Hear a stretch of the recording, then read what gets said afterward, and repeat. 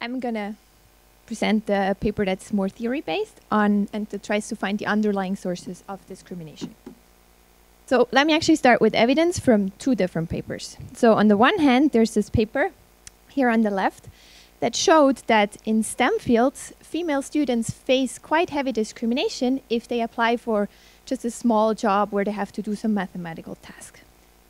Then a year later, there's this other paper here in green that showed that among accomplished researchers, also in STEM fields, when they apply for professorships, actually women are favored over their male peers.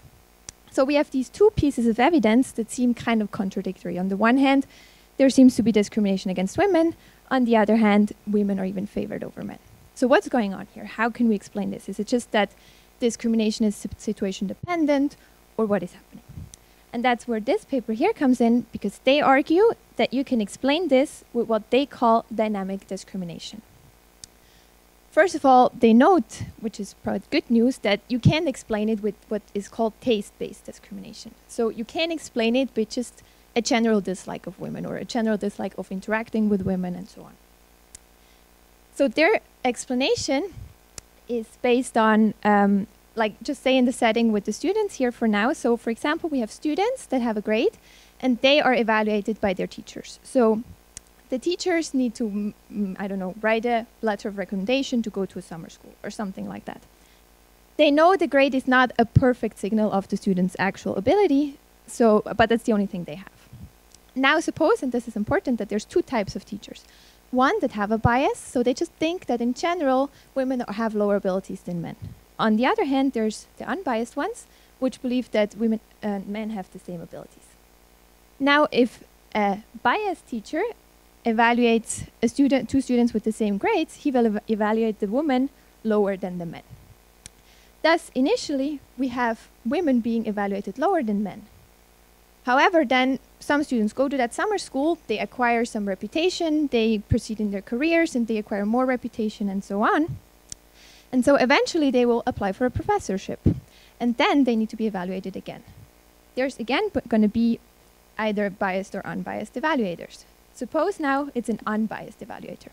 The unbiased evaluator now has faces a man and a woman that have exactly the same reputation. So if they look at the woman, they know, however, that the woman probably faced some biased ones that evaluated her in the past.